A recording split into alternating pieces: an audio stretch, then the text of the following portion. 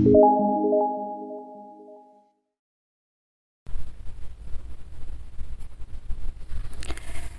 video kali ini saya mau makan gulai daging ya guys, gulai daging, sambal hijau petai, ada kemangi, ini ada terong cobek dan juga ini ada sawi putih ditumis ya guys. Sebelum makan mari berdoa dulu.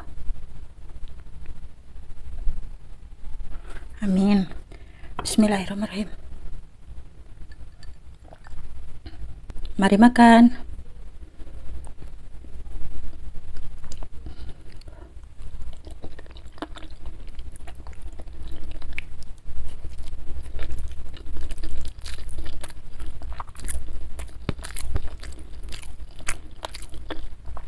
cobek terong